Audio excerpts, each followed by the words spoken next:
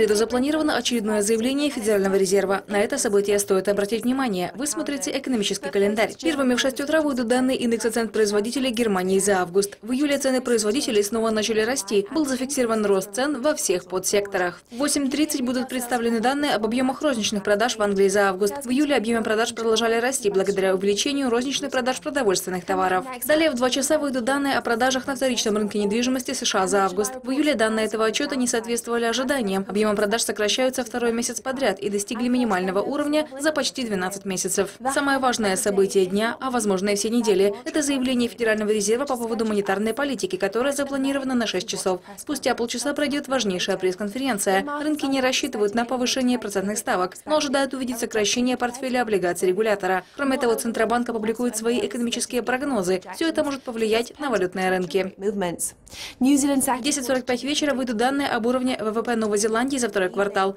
Это важнейшая публикация для всех трейдеров по новозеландскому доллару. В первом квартале эти данные не соответствовали ожиданиям из-за ухудшения показателей строительной сферы, но при этом большинство подсекторов демонстрировали рост. На три часа запланирована еще одна публикация из Новой Зеландии. В это время выйдут данные о расходах по кредитным картам за август. В июле объемы расходов продолжали расти, хотя темпы роста были меньше, чем 8,3%, которые были зафиксированы в предыдущем месяце. В 4.30 выйдут данные индекса деловой активности в промышленности Японии за июль. В июне индекс восстановился, частично сбалансировав майское понижение на 0,8%. Всем трейдерам по австралийскому доллару стоит обратить внимание на выступление председателя Резервного банка Австралии Филиппа Лу, которое запланировано на 5-10 утра. Он выступит с речью под названием «Следующая глава» в Американской торговой палате в Австралии.